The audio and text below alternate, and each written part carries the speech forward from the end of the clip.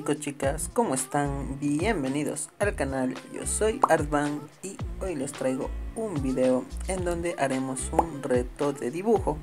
Reto que ya lo hemos hecho hace algún mes, bueno, meses atrás. ¿Y en qué consiste?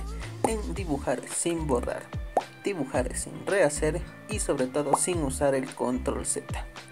Y también vamos a utilizar eh, como referencia esta imagen que están viendo en la pantallita. Y bueno va a ser nuestra guía y vamos a utilizar esta paleta de color que ya está predefinida. Así que dicho esto empezamos con nuestro boceto. He de decir también que me olvidé también de una regla importante de este reto que me olvidé de mencionarles y es que todo esto lo debemos hacer en una sola capa. No podemos crear copias de la capa o crear capas extras em, para hacer este dibujo. Eh, lo que sí hice eh, bueno creé una capa una capa más pero esto fue para utilizar eh, la referencia de la imagen del como esto de la paleta de colores. Y bueno por eso sí creé una nueva capa porque no sabían dónde más poner ya que en la ventana de referencia ya estaba la imagen que tenía que dibujar.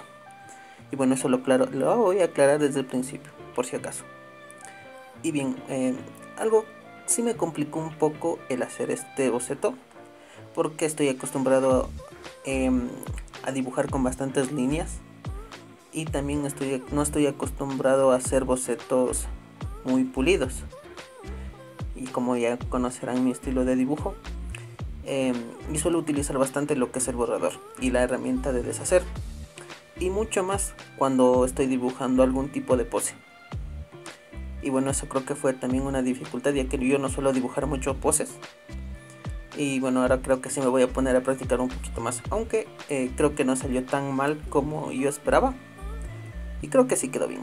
Por ejemplo, como, como no podía borrar, lo que hacía es con la herramienta lazo seleccionar la parte que supuestamente estaba mal y la colocaba o le cambiaba de lado y así. Eh, para tratar de darle un poquito más de forma al dibujo en caso de que le vea que está un poquito deforme. Eh, ¿Qué más? Ah, por ejemplo, em, van a ver después, eh, me ocurrió un problema que se van a dar cuenta. Y, eh, como les digo, me, me llamaron, puse pausa la grabación, fui, regresé, eh, seguí dibujando y me olvidé de darle play. Pero eso lo van a ver más adelante. Porque me pasó algo que, como les digo, bueno, lo, ya lo van a ver. Justo aquí fue cuando ya terminé de hacer el boceto. Y estaba tan concentrado en el boceto y en el dibujo en sí que me olvidé completamente que ya tenía una paleta de color ya preestablecida para este dibujo. Y pues no me acordé. Y se preguntarán, Esteban, o Teban, como me quieran decir, ¿qué pasó? Eh, empecé a pintarle la cara del mismo color del personaje. Y, y me di cuenta justo, o sea, antes de pintarle todo. O sea, como pueden ver, y le estoy usando ya el, el, el, ¿cómo se el cuentagotas y lo empecé a pintar.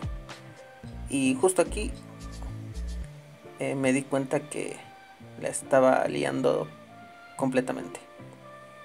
Y bueno, aquí fue cuando me llamaron, puse pause, me fui, regresé, seguí pintando y no me di cuenta que no le di el botón de grabar.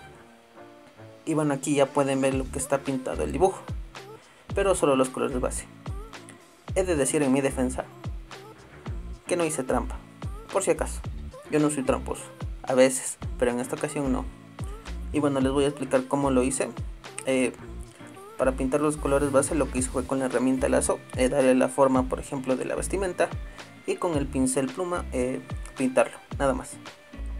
Por ejemplo, en lo que es el rostro, ahí se utiliza el pincel acuarela acuoso, porque este pincel en sí no le borra directamente las líneas que están debajo o sea, de la pintura, sino que le deja el boceto por encima. Y bueno, poco a poco, mientras vas pintando, ya le vas borrando. Entonces esto me ayuda mucho para no perder la idea del personaje que yo tenía y que estaba haciendo. Ah, por cierto, antes que me olvide, no se olviden de, no se olviden de darle un buen like, suscribirse y activar la campanita. Por cierto, eh, este reto que están viendo ahora, eh, lo vi del stream de Laura, que estaba haciendo Y bueno, ahí en el, en el stream, en el chat, decidió qué dibujo y qué paleta escoger para este personaje. Es por eso que ya está preestablecido todo esto. Y bueno, eso también le añadió, le añadió un poquito de dificultad. Y bueno, este reto ya lo hicieron hace algunas semanas. Y como siempre ya me conocen, yo a mí me gusta siempre llegar tarde a las cosas. A los retos especialmente. Y bueno, yo ya lo había hecho ya hace algunas semanas pero como pasé un mes sin editar y sin subir videos, no tuve tiempo para hacer video. Así que este dibujo ya lo tenía guardado desde hace mucho, mucho, mucho, mucho, muchísimo tiempo. Y bueno, ahora ya que volví, ahora sí lo edité y ya está listo y ya lo están viendo ahora. Espero. Ojalá. Y bueno chicos, así que yo les invito a que se pasen también por el canal de Laura y también les animo a que hagan este reto ya que es muy divertido. Bueno, no tan divertido, si te va a hacer sufrir. Pero ese es el chiste, esa es la gracia de esto. Ya que eso te va a ayudar igual bastante en el dibujo para mejorar. Así que espero que se animen. Y bueno, por aquí les voy a dejar ya las la imagen y la paleta en caso de que lo quieran hacer. Y por cierto, les hago un spoiler del próximo video y es que les voy a compartir un programa Jack Sparrow pirata. Y bueno, ¿cuál es? Uno que me han estado pidiendo mucho por los comentarios y es el Paint Tool 6, eh, la versión 2. Y bueno, eh, también ya tengo un video también probándolo. Hice una ilustración, un Draw Design Your Style, como siempre. Y la verdad me quedé sorprendido eh, con el Paint Tool 6. Con las nuevas herramientas que tiene ya se lo ve un poquito más completo que, el, que la versión 1. Así que yo me quedé sorprendido y, y muy contento también para usarlo otra vez. Y también chicos recuerden dejarme en los comentarios qué tipo de videos o qué tipo de retos quisieran que haga para poderlo subirlo también al canal. Y bien, así que yo saben que siempre les leo y siempre les comento. Es rara vez que se me pase algún tipo de comentario pero yo siempre estoy al tanto de sus comentarios y de todo lo que me dicen por ahí. Así que he llegado al final de este video. Espero que les haya gustado el dibujo también, que me demora mucho, así que apoyen bastante. Y nos vemos en un próximo video.